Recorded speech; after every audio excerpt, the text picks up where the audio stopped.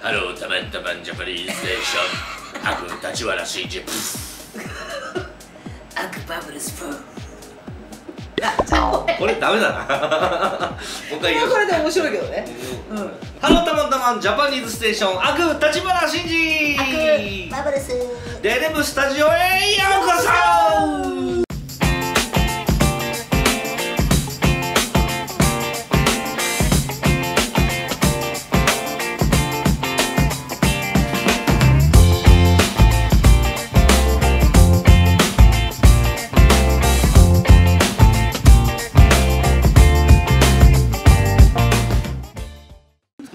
毎回音楽のことを徹底的に分析する番組デネブスタジオでございます。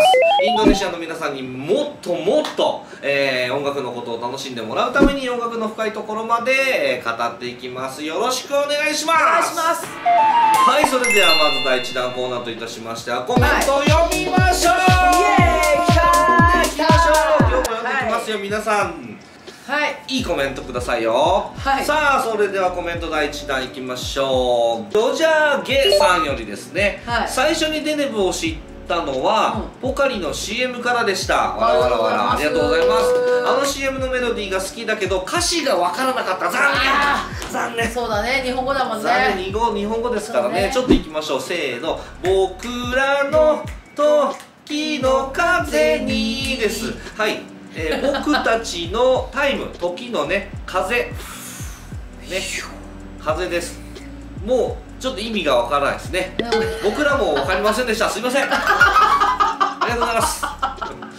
はいそれでは次のコメントに行きましょう、やしろさんよりです、えー YouTube がこの動画を推薦してくれました。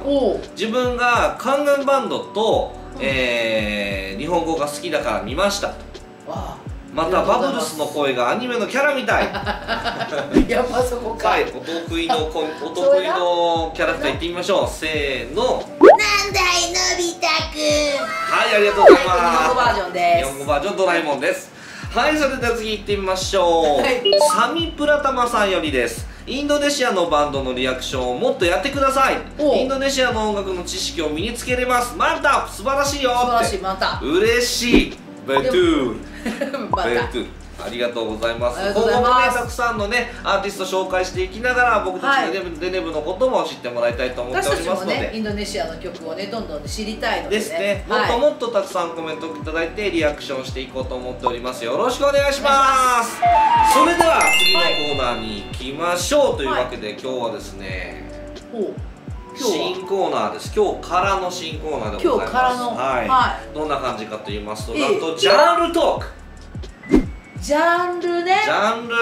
音楽のジャンル。はい。次のコーナーはですね。ジャンルトークです。音楽業界にはさまざまなジャンルがあります。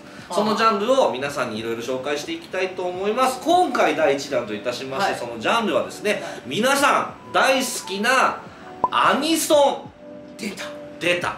出たアニソンねアニメソングです。はい、うん。アニソンとはですねアニメソングの略でございます、はい。アニメのオープニングそしてエンディングまたですね挿入歌ですね曲あのアニメ中にかかる楽曲 BGM などアニメの作品で使用されている曲のことを指します。アニメソング、アニソンです。アニソン。はい。今ではですねこのアニメソングですねもう日本の文化、うん日本から発信する文化の第1位と言ってもおかしくはない、えー文化になっております。このサブカルチャーと言われるですねサブカルと言われるものを皆さんにご紹介していきたいなと思っております。はい。というわけで今日質問としてデネブの皆さんはアニメを見てますか？すいません。もう咳するぐらい見てない。僕たちはですね長らく多分テレビを見ていないです、そうだね。うん。うんアニメ昔子供の頃は見たけどね。ねでもね僕ねあのつい78年前もう10年ぐらい前なのかな。あのこの鎖骨を骨折した時に 2ヶ月ぐらいねうあの入院してたんで。あのスケボーでひっくり返ったんですそうドゥアブランの間ですね。あの入院してまして、はい。その間にですねやることがなさすぎて「ワンピースをうん空島編からあずーっと見たんですよ。毎日号泣。でね退院してきて「あさワンピースめっちゃいいんじゃけどっていうのをひたすらこう毎日語ってくるわけですよ。そ それまで気にもせんかったのにね。うねえ そうそうそうそう。そう俺はバンド王になるみたいなことをね常に思ってましてで新しい仲間が増えるためにはワンピースみたいだなと思ってたのがね今でも懐かしいですけどね、ね。はい、今まで見てきたアニメ印象を語りましょうということで。今まで見てきたアニメやっぱね私が見てきたのはめちゃめちゃ昭和のそうですね。まあまず説明すると僕が20あ違う違う20じゃない。ごめん。20失礼しました、えー、37歳、はい。えーバブルスは48 48になります。はい。ということで僕たち11個スプラス多分離れてますので、はい。えーっと約1世代ぐらい違うんですよね。そうね。アニメねもだから本当に1世代違うので昭和僕は平成というふうにアニメを見てきてると思うので、はい。ちょうど変わったそうですね。ところだね、うん。バブルさんはどういうアニメを見てきましたか？私はねなんかねあのーなんていうか主人公が毎回一日一個の良かった探しをするうん。アニメとかあとねまあドラえもんまあやっぱドラえもんはねインドネシアでも有名な、まあねうんやつだしあとなんだろうな魔法使いが多かった異常に魔法使い異常発生えこれ知もってるだけで魔法使いのアニメってどれぐらいあります？言えますか？うだってサリーちゃんサリーちゃん。魔女っ子メグちゃん魔女っ子めぐえっと花の子ルンルン。花の子ルン。ルンうん。あと何があったっけ？なめめっちゃあるよ。えっ、とああああのあのああのなんかいね。脱いでいくやつ。脱いでく？そう。脱いでく？やつがある。そうそそうあの変身変身。違うけどこう魔法が使えるようになるのにブワーって全部脱いじゃうの。あ大体そうですそうそう。よねビャーって脱いで新しい服がシューなるやつとかあるのであれが昔はあの良かったのか 大丈夫だったのか否か という怪しいのもありますし。でとにかく代表作としては何が一番印象に残ってますか？私はね花の子ルンルンがめちゃめちゃ好きで。アパ花の子ルンルン。花の子ルンルン。あ魔法じゃないなあれは。なんかね幸せをもたらす七色の花を探して旅をする。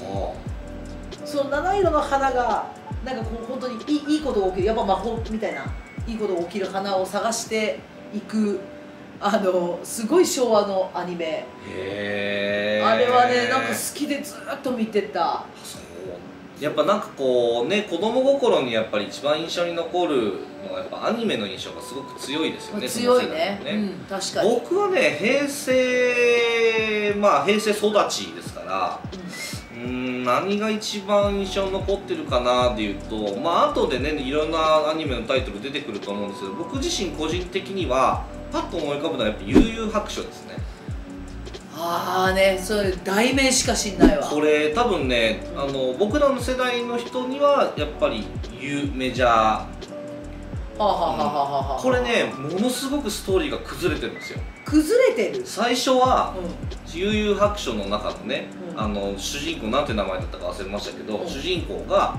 あのーまあ、特殊なパワーを使えるのでんうんその世の中に現れてくる霊を倒していくみたいな探偵みたいな物語だったんですよ。はあはあはあは世の中に現れる霊を倒していく。あうんうんう。んうんだんだん有名になってくるに従って、ネタが切れてくるじゃんそういうこうストーリーが。まあ 1話1話変わっていかないといけない。あまあまあね、うんうん、続きものの方が面白くなってくるから、はい。でやっぱジャンプっていうね集英社のアニああーね。のアニメを使いますので、あのジャンプの理念っていうのはね。友情友情。あとなんだわかんないけどなんかあるんですよ友情とかなんかこう戦いとか。そう要素があるんですよ。そうジャンプってなんか戦ってるイメージがずっそとずっと誰かと戦ってる。だだだんだんバトル漫画って言ってこう戦いになっていってまあその汎用というかね体がこう半分が幽霊というか妖怪？妖怪になってしまったみたいな感じの人とそのまあいい心を持ったその半分妖怪のあ人たちがこう戦うみたいな、はあそういうトーナメント戦が行われたりとかしていく。だんだんこう長く見てると、まあ、最後の方は意味がわからなかったんですよ。だんだんこう制作費なくなって最終回終わったみたいな感じで終わりましたけど僕はねあのあのアニメ見ててもアニソンの魅力っていうのはねあのアニソンの魅力でこのアニメの魅力って僕はもうアニソンだと思ってるんですよ。もうでもねアニソンはね覚えてるもん。そう。だからそのアニメの内容を問わずそう全部がアニソンがそれを表現してるんですよね。はいはいはい。どの世代も多分。そうそうだね、うん。確かに。そうだからこうアニアニソンっぽいって言われる楽曲とかってなんかそういう表現力の豊かな楽曲なんじゃないかなと思うんそしてですけど子供が覚えやすい。覚えやすい。だから短いんだよね1番とか。結構短くて、そう。うん。だからアニソンの魅力ってまあ今今のアニソンとまた時代も背景もあると思うんですよ、まあ、僕らの平成の時代のアニソンって多分昭和とちょっと違うと思うんですけど、うん。若干ちょっと商業的なんですよ。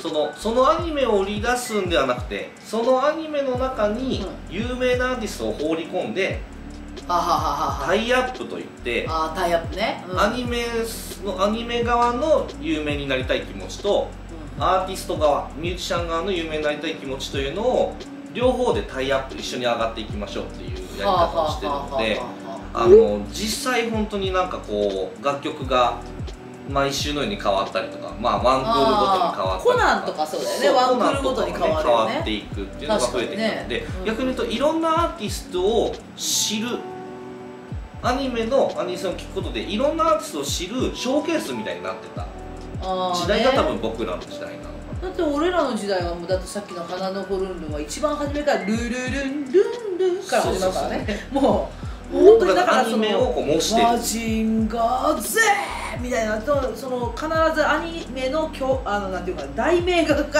入ってるのがもう私たちの世代だったんですね、曲自体がアニメを示してるみたいな感じになってるそうそうそうそうそう。ね。まあそれでですねインドネシアで今流行ってるアニソンアニソン。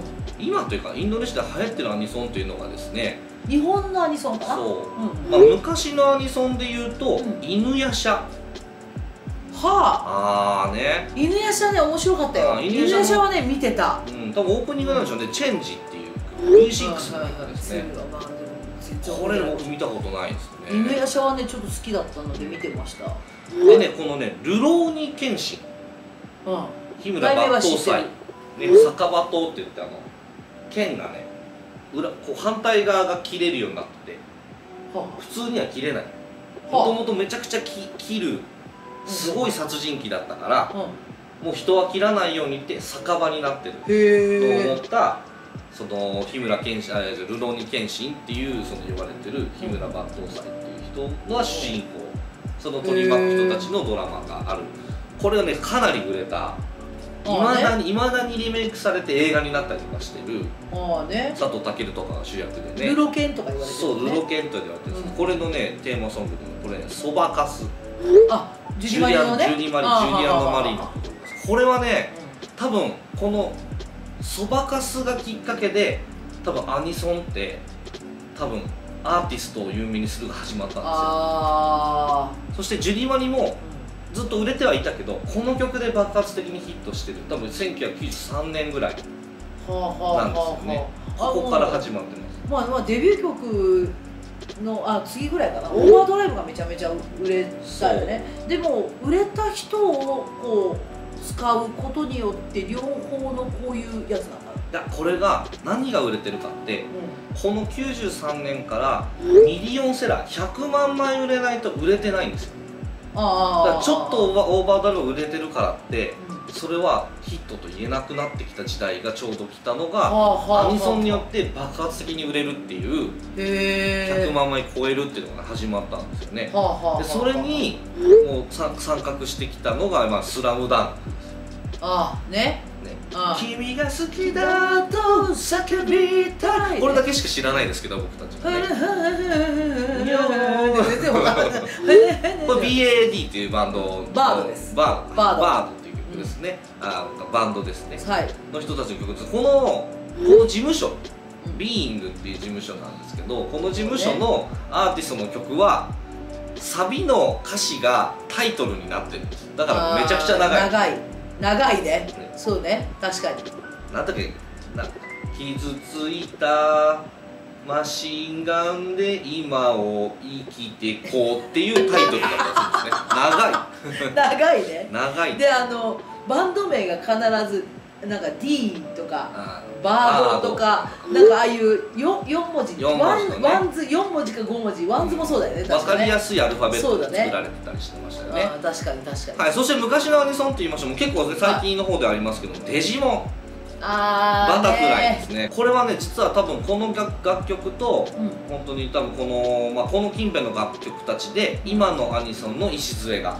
今のアニソンと呼ばれるこの昔のアニソンとは違うこうシンガーが歌うタイプのアニソンの礎になった、ね、楽曲ですね。和田浩二さんという方なんですよ。この方残念ながら最近亡くなっちゃったんですそうよねですね、はい、あのあのハイトーンで歌う人なかなかいないんですからね、はい、それでね「もじゃっこ」っていうね。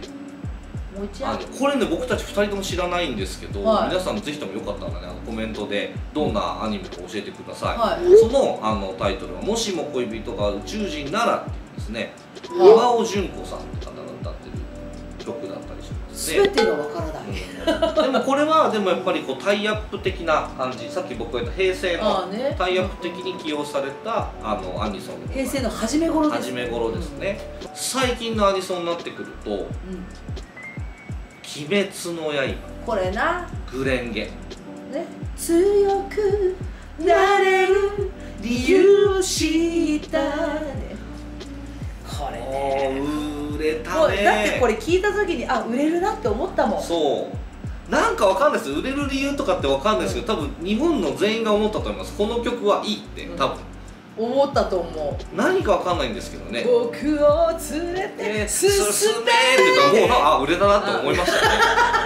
この「鬼滅の刃」が売れるかどうかよりも本当にこの曲は絶対売れるなと思いましたけど「鬼滅の刃」も中身やっぱ面白くて。うんうんうん。やっぱりあどうでも僕見たんですけど「鬼滅の刃」って、はい。ちょっとねグロテスクな部分多くて。あそうだね。子供ってどう思うんだろうと思いましたけどね。でもやっぱ見て面白かったですね。あ本当、うん。その他にもですね劇場版「鬼滅の刃」の無限列車編。ほうほうほうほう。この無限列車編のまあそのメインになってる人。まあすごい炎の担当の人みたいな人がいてその人がまあすごいかっこよくまあ亡くなるっていうね亡くなっちゃう最後亡くなっちゃうみたいなオチなんですけどその人をこうなんていうかな弔うというかレクイエム的に作られあた「ホムラ」っていう曲。あと今はねまさしく今ネットフリックスも含めてうん。あのめちゃくちゃ流行ってますよ。呪術呪術廻戦。呪術呪術廻戦。言えてない。呪術廻戦。ね。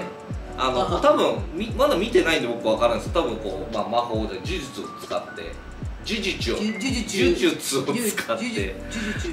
ん多分行くんでしょうね。これもまあ見ていきたいなと思うんですけど。他にもあこれも呪術廻戦。これアリっていうバンドの「ロスト・イン・パラダイス」フィーチャリングアクロ。このアリっていうバンドのベースの人はインドネシアの方なんですって。えそれこうさっき動画見たんですけどめちゃくちゃおしゃれなヒップホップなのかな？なんかちょっとチル系の、ラップが結構混ざってる感じの楽曲えですごいかっこよかったです「ほうほう。進撃の巨人」「アタック・オン・タイタン」あこういう名前なんですね。あアタック・オン・アタッタイタンクオンタイタン。まあタイタンでかい。へで「マイ・ウォー」っていうね曲があったりとかして。え最近のアニソンになってくると一番まあ違いがあるなと思ったら漢字がめちゃくちゃ多いですね 今パッと見ね読に。み読みにくい漢字めちゃくちゃ多いな。呪術廻戦全然読めてない。でも「進撃の巨人」の曲になってる人とかでもあの一つのプロジェクト作曲家が作ってるプロジェクトで本当にすごいなんかもうげなんかオーケストラがめちゃめちゃ入ったりとかする楽曲とかあってすごいかっこいい曲が多いんですよ、聞いてみよう。うん、で今ですね時代によってアニソンのニュアンスが変わってきているということでさっき話していたちょっとずつもう言っちゃネタバレしてますけど言っちゃってますけど、昭和平成そして今の令和のニュアンスの違いは何でしょうかっていうことで。うん。それね。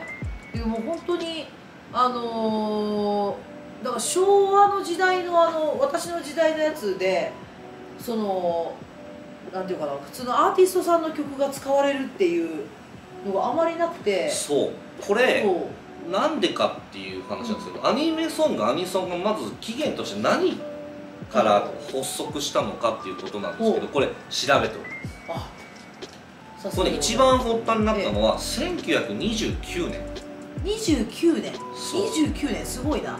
うん。すごい昔ですよね。うんあのーとあるアニメの、あのー映画になるのかな？アニメ映画ですね。レコード陶器による実験映画「クロニャゴ」っていうのが制作されてはそのレコードがサウンドトラックとして使用されたことが始まりと言われてる。いへえ。でそれまでアニメって言ってもどうしてもこうまあなんていうのかなこうカタカタカタカタ絵が変わっていくっていうものだったものに音をつけるって言ってもそれをなんかこう BGM として楽曲を使うっていうのが始まったのはそこが始まりでそういうことね。そう。でそこから長編漫画映画をこう制作し始めてその当時は映画の中に入れ込むっていうのがアニメソングアニメを映画で出はあすテレビではまだ放映されてなかった時代からも始まったテレビってだって昭和60年代そうですとねあのぐらいだよね。なんかあの東京オリンピックがあった時にテレビがバーッと復旧してるのでそうですね。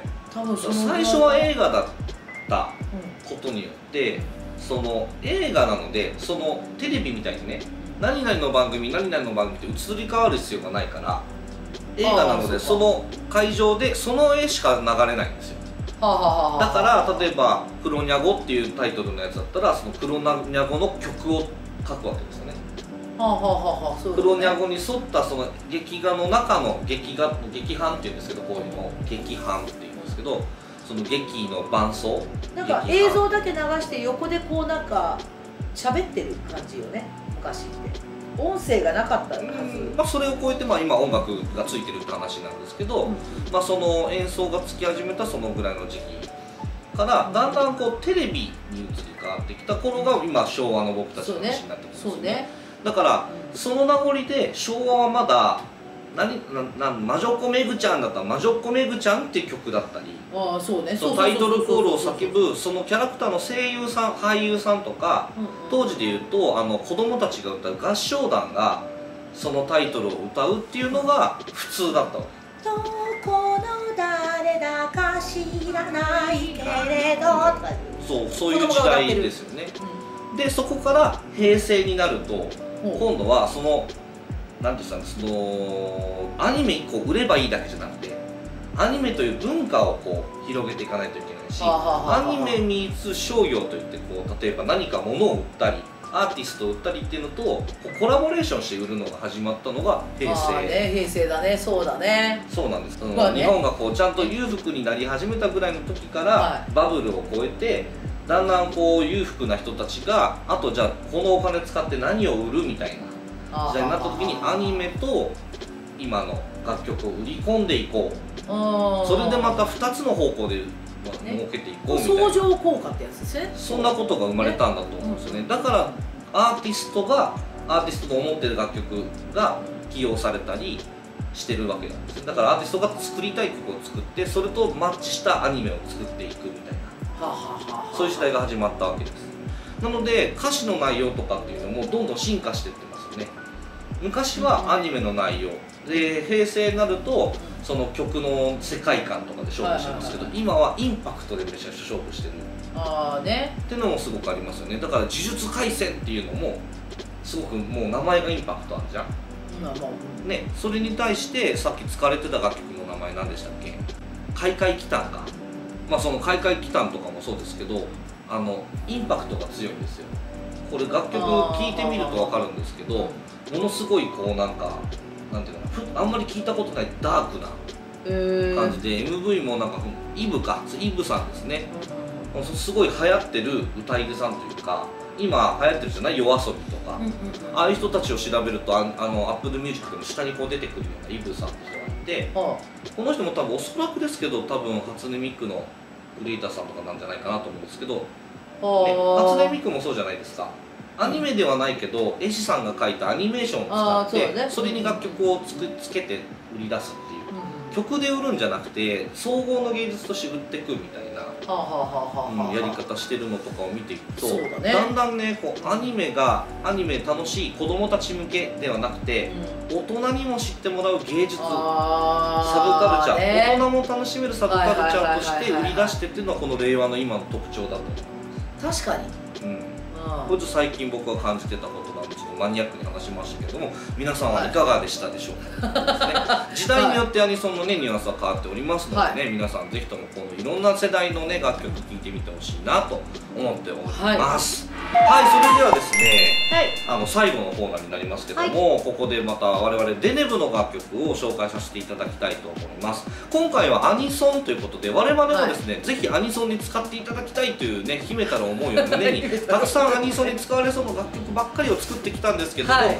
えーこれですね今までに一度も使われたことがありません。はい。はい、なのでですね自分たちで、はい、仲間の、ね仲間のりんくんに頼んで、はい。アニメーションを作って実際にアニメを作っちゃいましたという、はい。えープロあのープロセスで作った楽曲。がアありますニメのオープニングをねそうオープニングのあのアニメを作ってもらいました。はい、それでですね今日の楽曲は「キテレツになりたいのだ」という曲でございます、はい。こちらですかね。は、はい。いえーこちらのアニメーションはうちのクルーでございます。これです。リン・画伯が書いてくれたんですけども、これ全部手書きで何枚も何枚も何枚も書いて少しずつずらしてアニメを作るという古典的なやり方でやってくれています。ちょっとね、えー昭和の香りのするなんかこう分かりやすい絵にしてほしいって頼んで。そうですね。そうそう。で最近のシャーッとかならなくてで宇宙船飛んできてみたいな感じのすごい可愛いキャラクターが出てきてっていう、あのこで人が出てるのは全部あのデネブ。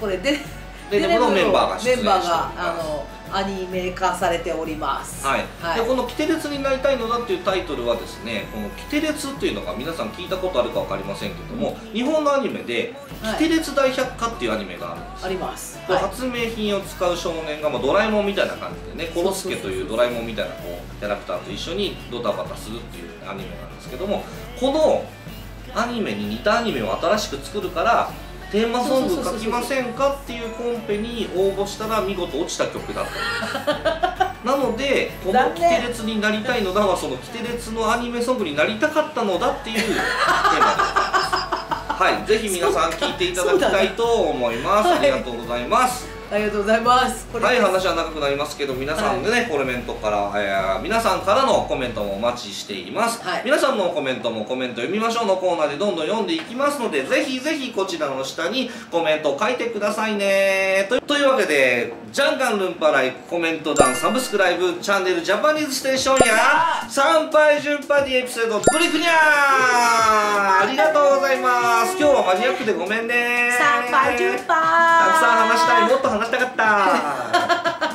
アニソン奥深いからね。もう今から